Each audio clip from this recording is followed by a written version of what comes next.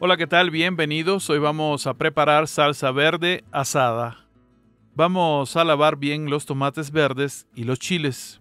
Aquí tengo 500 gramos de tomates verdes y 100 gramos de chiles serranos. En un comal o una sartén ponemos primero los chiles serranos. A mí me gusta asarlos separados de los tomates verdes. Si no tienes comal, te recomiendo una sartén vieja y que la ocupes exclusivamente para este tipo de salsas asadas. Vamos a asarlos a fuego medio. Hay que darle vueltas ocasionalmente para lograr que se hacen por todos lados. A medida que se vayan asando los chiles, vamos retirando de nuestro comal o sartén. O sea, vamos retirando los que se hacen primero y reservamos. Vamos a poner los tomates verdes. Primero con el ombligo o pedúnculo hacia el calor. Los dejamos por unos minutos para que queden bien asados por esa parte porque es la más dura. Una vez asada esta parte vamos a voltearlos por las otras, cuidando que no se tuesten mucho. Al igual que con los chiles, vamos extrayendo los que se terminen de asar primero. Reservamos y ponemos a asar un pedazo de cebolla. Aquí son como 50 gramos y un diente de ajo. Dejamos asar por unos minutos.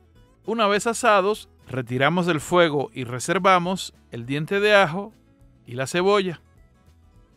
En una licuadora ponemos los chiles asados, la cebolla, el ajo, la mitad de los tomates asados, preferentemente los que están más blandos, y reservamos la otra mitad. Tapamos y molemos a mínima velocidad por solo 8 o 10 segundos.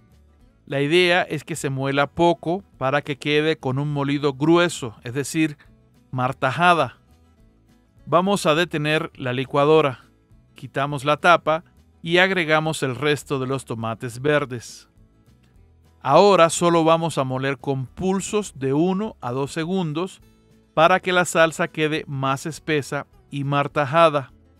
Si tu licuadora no tiene botón de pulsos, usa la velocidad más baja y muele intermitentemente tres o cuatro veces presionando el botón por uno o dos segundos o hasta lograr el grueso demolido deseado.